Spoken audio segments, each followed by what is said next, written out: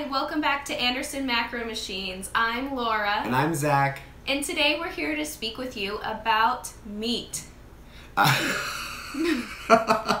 What's so funny? I don't know, just. It's meat. Yeah, it's meat. I love meat. so, with Laura and I both being working professionals, sometimes it can be really hectic for us with our jobs, especially with our fur children, and just whatever the day might throw at us. And so, we might find ourselves in a pinch and really have an issue with making good choices when we're really flustered, really busy, and really stressed. The old us would have gone to a fast food restaurant and gotten a burger and fries, or maybe a sandwich, or just something that wasn't necessarily the best option. And then we found ourselves eating out and spending all of our money eating out as a result of that. But we just wanted to share with you some quick, easy ideas to be able to overcome those problems and to still be successful in hitting what you need as far as your protein goal through these uh, lean meats one of the easiest ways is to go to either a Costco or a Sam's Club or your local grocery store and getting a rotisserie chicken.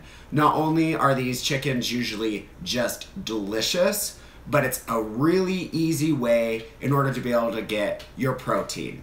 And so we turn to that and just um, we just pull it apart and we weigh and measure it either in our meal prep going for the upcoming week or we just run past the store and get one knowing that we're going to have it for dinner that night when it's hot and warm.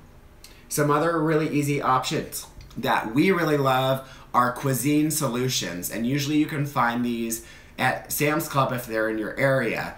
One of uh, the ones that we turn to the absolute most is this premium beef sirloin, and uh, it's delicious it's a little bit more expensive, but it's a really easy way to be able to get the protein that you want in a delicious way. And some people might be concerned about the amount of sodium that it has because it is prepackaged um, with all of these items.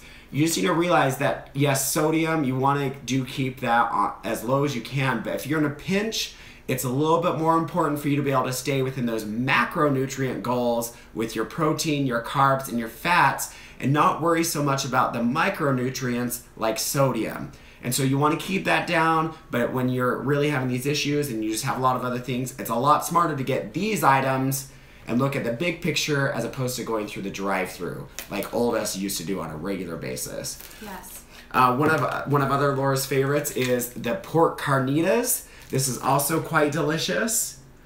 Um, and it's also a great way to be able to get some extra protein. Um, this one has 15 grams of protein for three ounces, so a lot of bang for your buck in the protein. And this one, the um, sirloin had 19 grams of fat for three ounces, or excuse me, 19 grams of protein for three ounces. And both are very low in fat. One of our most recent favorites, especially in the wintertime, has been this Irish beef stew. Super good, really perfect for the most recent negative one degree day that we had with a, well, the high of negative one and a low of negative 21. This was what we turned to, especially when we didn't want to go out. So these are just some really simple ways in order to be successful with getting those lean proteins, it hitting those protein numbers, and be able to do it in a pinch when you're in a really stressful situation. Thanks for sharing. Bye. Bye.